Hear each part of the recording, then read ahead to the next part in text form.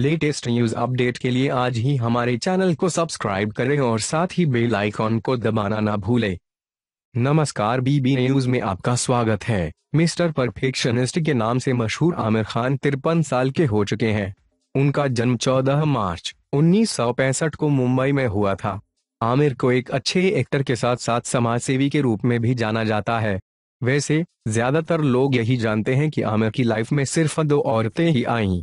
पहली रीना, दत्ता और दूसरी किरण राव। लेकिन इनके बीच एक और महिला आमिर की ज़िंदगी में आई, जिसके साथ आमिर ने कभी अपने रिश्ते को नहीं कबूला। कुछ साल पहले एक पॉपुलर एंटरटेनमेंट मैगजीन में खबर आई थी कि आमिर खान का कोई नाजायज बेटा भी है।